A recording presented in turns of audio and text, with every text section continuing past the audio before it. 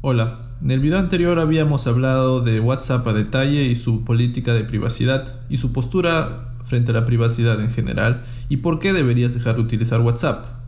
Si no lo has visto el video te invito a que lo veas, el enlace está arriba. Pero si ya estás decidido a mudarte de WhatsApp, la pregunta que te estarás haciendo es ¿qué aplicación podemos utilizar en vez de WhatsApp? Porque hoy en día necesitamos comunicación instantánea, es un mundo muy conectado. La alternativa que muchos presentan, y de hecho es una de las aplicaciones más descargadas en lo que es mensajería, es Telegram. En este video vamos a ver por qué Telegram no es la alternativa correcta a WhatsApp. De hecho, WhatsApp es más seguro que Telegram. Vamos a ver eso a detalle. Y al final les voy a presentar otra aplicación que es una alternativa mucho más responsable y mucho más segura. Pero antes de eso tenemos que entender brevemente qué es la criptografía. Regresemos en el tiempo hace 100 o 200 años, cuando no existía internet, no existía teléfono. Pepito está muy enamorado de Juanita y le gustaría confesarle su amor mediante cartas.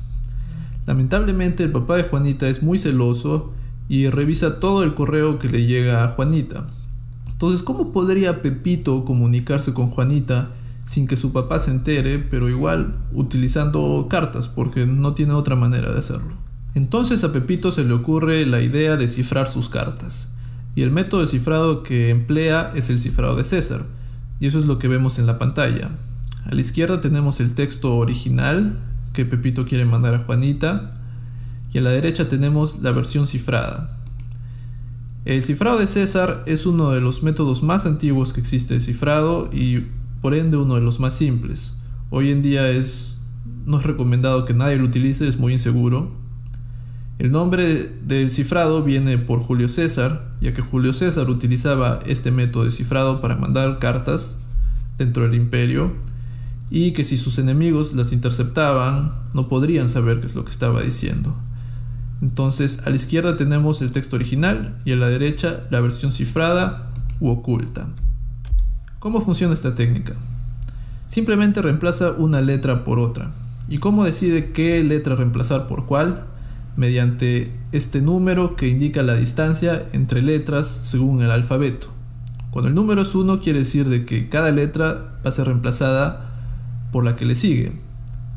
Entonces A es reemplazada por B, B por C y así seguimos. Esto lo podemos ver aquí, ¿no? H es reemplazada por I, o es reemplazada por P. Y si nosotros cambiamos esa distancia, vemos a la derecha que el texto cambia completamente, Entonces lo que haría Pepito sería mandarle este texto cifrado a Juanita. Y si su papá ve este texto, no, entendería, ¿no? Porque esto no es ningún lenguaje, esto no, no es español, no es polaco, no es nada. Pero el truco, la parte difícil sería comunicarle a Juanita cuál es el valor descifrado, cuál es la distancia, ¿no? Porque si no le decimos eso, entonces Juanita tendría que pasarse toda la noche tratando de descifrar cuál es este valor para saber qué letra reemplazar por cuál. Hemos visto un ejemplo de cómo crear un canal de comunicación seguro utilizando criptografía. Sin embargo, con la invención de las computadoras, los métodos tradicionales criptográficos quedaron desfasados. Las computadoras de hoy son tan poderosas de que en cuestión de segundos pueden descifrar cualquier texto que haya sido cifrado utilizando estos métodos antiguos. Es por eso que la criptografía de hoy, la criptografía moderna, está basada en principios matemáticos complejos y es una rama de investigación muy activa en las universidades. La criptografía se encuentra al centro de nuestra sociedad de hoy en día interconectada y globalizada.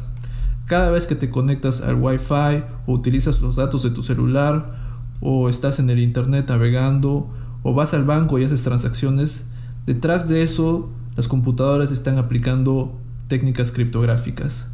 Es por eso que es importante y crucial de que las técnicas criptográficas que se utilizan sean lo suficientemente seguras. El último tema a tocar es el del cifrado de punto a punto. Al igual que en el ejemplo anterior tenemos un emisor y un receptor que quieren comunicarse. La diferencia está en estas llaves que ven aquí abajo. A estas llaves se les llama llaves criptográficas y son únicas. Quiere decir de que yo nunca voy a tener una llave criptográfica que sea igual a la de cualquier otra persona en el planeta. Entonces, imaginamos que esta es una conversión de WhatsApp, el emisor manda un mensaje de texto, ese mensaje de texto antes de ser enviado es cifrado utilizando su llave única, es transportado por el Internet, llega al celular de la otra persona y es descifrado utilizando la llave personal de esa otra persona. ¿Cómo es que esto puede funcionar? La verdad es que el concepto detrás de esta técnica es mucho más complejo que la explicación que acabo, que, acabo de dar. Si quieren que hable más de esto, dejen un comentario en el video. Pero al final lo que debemos entender es de que estas llaves criptográficas son centrales a todo el proceso. Si uno no tiene acceso a estas llaves privadas, nunca va a poder descifrar un texto cifrado. Es por eso de que nunca debemos compartir nuestras llaves privadas con otras personas o empresas o gobiernos. Ahora sí podemos hablar de Telegram. Existen tres razones principales por las cuales no deberíamos utilizar esta aplicación. La primera es de que a pesar de que Telegram tiene la opción de cifrado de punto a punto que he descrito anteriormente, no está activada por defecto. Así que si quieres que tu comunicación sea más segura, tienes que ir a las opciones y configurarlo manualmente. Y todos sabemos que el 99% de las personas nunca va a las opciones de su celular o de su aplicación. Lo curioso es de que WhatsApp sí tiene activado por defecto el cifrado de punto a punto. Entonces, simplemente por ese hecho, WhatsApp es más seguro que Telegram y Telegram debería ser descartado. Segundo, Telegram utiliza el protocolo de cifrado llamado MT-Proto, pero este protocolo ha sido creado por la misma gente de Telegram, yo he llevado tres cursos de criptografía y esto lo pueden comprobar si googlean.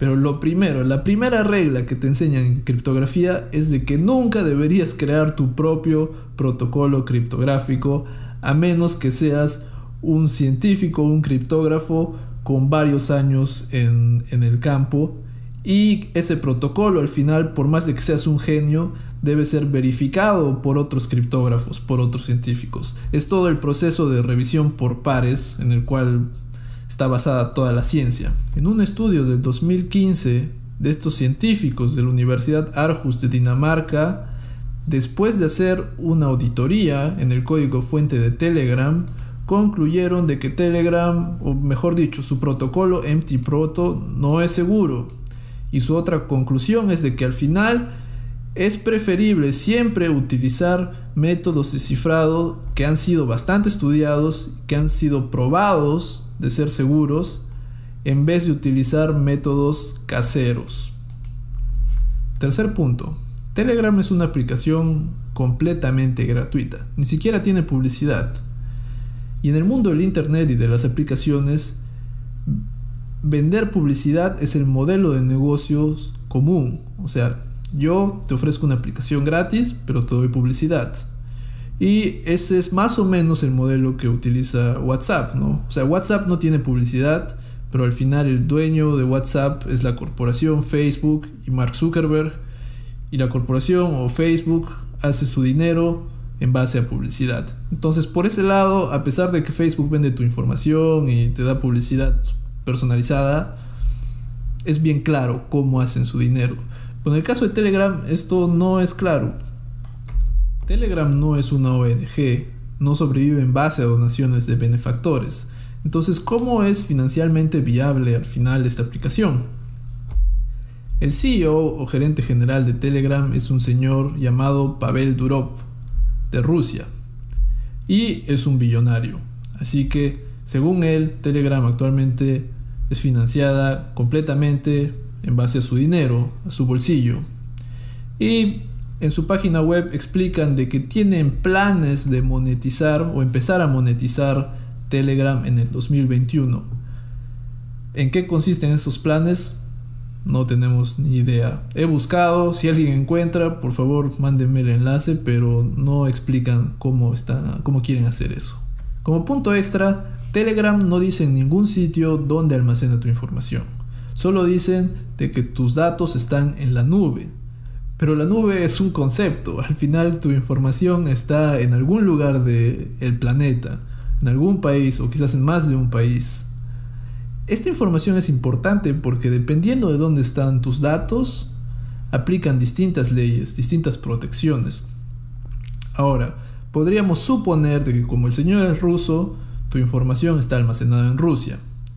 Si ese fuera el caso, bueno, lamentablemente Rusia no es muy conocido por sus políticas pro privacidad o pro ah, libertad de los individuos. Entonces, eso ya debería sonar alarmas porque esta información no está en ningún sitio de, sus páginas oficiales. En conclusión, Telegram no es una empresa transparente y su aplicación no se adhiere a los altos estándares de la comunidad criptográfica o de la seguridad de la información. Entonces, si solo tuvieras dos opciones, entre Telegram o WhatsApp, WhatsApp es más seguro. Pero existe otra opción, de hecho existen más opciones, pero yo les voy a hablar de la que prefiero personalmente, que es Signal, si es que ya no han escuchado antes. Signal es una aplicación de mensajería instantánea al igual que WhatsApp o Telegram. Está disponible para ambos Android y iPhone. Yo uso Signal personalmente y estas son las razones principales por las cuales les recomiendo a todos que se muden ahora a esta aplicación. Primero, Signal es una aplicación de código abierto. ¿Qué quiere decir eso? Cuando hablamos de aplicaciones y de programas, estamos hablando al final de software. Existen dos categorías básicas de software. La primera es de código abierto y la segunda es de código cerrado. Por ejemplo, cuando se malogra tu carro, tienes básicamente dos opciones. Una es, si tienes el conocimiento suficiente, es arreglarlo tú mismo, o la otra es llevarlo a un experto, alguien que sepa. El punto es de que tú tienes la libertad de si quieres abrir el capote y revisar qué pasa con tu carro, o de llevarlo con un mecánico, o llevarlo con tu amigo que sabe de carros y que él haga lo que vea conveniente. Ahora imaginemos un escenario alternativo, en el cual cada vez que se malogra tu carro, en primer lugar no puedes abrir el capote porque está soldado o porque existe un candado gigante y no tienes la llave de ese candado. De hecho, las únicas personas que tienen la llave de ese candado son los mecánicos autorizados por la empresa que fabricó tu carro. Entonces tú ya no tienes esa libertad de hacer lo que quieras con el producto que tú has comprado en este caso. El primer ejemplo es una analogía con el código abierto y el segundo con el código cerrado. Un ejemplo de aplicaciones de código cerrado son WhatsApp y Telegram. O sea, al final tú no sabes exactamente qué hace esa aplicación detrás de las bambalinas, por así decirlo. Porque nadie tiene acceso a ese código, solo las empresas que crean la aplicación, o Facebook o la empresa de Telegram.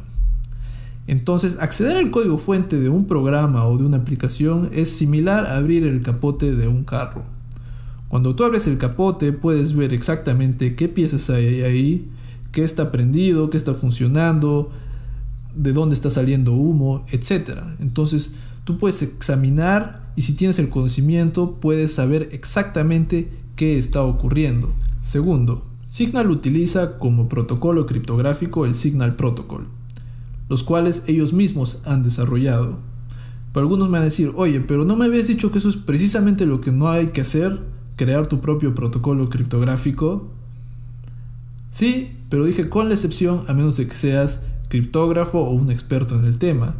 Y este protocolo Signal ha sido desarrollado por criptógrafos. Y por el mismo hecho de que es un protocolo abierto, al igual que la aplicación, quiere decir de que cualquiera puede ver cómo funciona este protocolo y efectivamente este protocolo ha sido auditado múltiples veces por ejemplo, uno de los últimos estudios fue hecho por la Universidad de Oxford y la Universidad Tecnológica de Queensland de Australia, en el cual determinaron de que el protocolo Signal es criptográficamente seguro. Y para aquellos de que todavía estén un poco escépticos sobre este tema, el protocolo Signal, aparte de ser utilizado por la aplicación de Signal, es usado hoy en día también por WhatsApp, Facebook Messenger y por Skype. O sea, es un protocolo que ha, realmente logrado bastante fama por su seguridad, su alto nivel de seguridad, y ahora está siendo utilizado por otras empresas inclusive. Eso quiere decir de que una aplicación de código cerrado puede hacer un montón de cosas sin que los usuarios sepan qué es lo que está pasando realmente. Supongamos de que a Mark Zuckerberg se le ocurre de que ahora cada vez que un usuario que utilice WhatsApp y mande un mensaje en el que lo menciona, que le llegue un correo a su bandeja personal. Obviamente esta es una situación absurda, pero en teoría eso es posible, ya que el código de WhatsApp no está disponible para que el público lo inspeccione. Y ese es el contraste con Signal. El repositorio de código, o sea, el código fuente en su totalidad, está disponible en Internet y cualquiera puede examinarlo. Y de hecho eso es lo que han hecho muchas personas, expertos en seguridad, criptógrafos, entusiastas de software. Entonces está el código libre a disposición de todos. Tercero, Signal es desarrollada por la Fundación Signal o la Signal Foundation, que es una organización independiente sin fines de lucro, actualmente situada en San Francisco, en Estados Unidos. Eso quiere decir de que por el momento Signal no tiene planes de monetizar la aplicación, ya sea vendiendo publicidad o vendiendo tu información. De hecho, la misión de la Fundación Signal es tener un compromiso con la privacidad de los usuarios y la libertad de expresión. Esperemos que eso no cambie. Y de hecho, esta organización es bastante transparente explicando de que por el momento funcionan completamente en base a donaciones de la gente. Cabe hacer un disclaimer y decir de que yo no tengo asociación alguna con la Signal Foundation, nadie me ha pagado para hacer este video, simplemente admiro bastante la labor que está haciendo esta organización y su compromiso con la privacidad. Como último punto, hablemos de quién, quién está detrás de Signal, porque habíamos mencionado eso en el caso de Telegram, ¿no? hay que ser justos. Y esta es la parte más graciosa. El cofundador de Signal es un señor llamado Brian Acton, que es un millonario, probablemente multimillonario también, y es el cofundador original de WhatsApp. Este señor, una vez de que Facebook compró a WhatsApp, no estaba tan contento con la, con la dirección que WhatsApp estaba tomando en lo que es la privacidad de los usuarios. Entonces decidió, bueno, señores, yo me voy y con esa platita que había hecho, mejor dicho, esa plataza, fundó la Signal Foundation y es así como llegamos a donde estamos actualmente. Ahora sí, como último bonus, si ustedes van a la página oficial de Signal, signal.org, pueden ver quiénes recomiendan esta aplicación. Y creo que no hay mejor recomendación que una de Edward Snowden. La recomendación de Jack Dorsey, el CEO o gerente general de Twitter, tampoco está nada mal.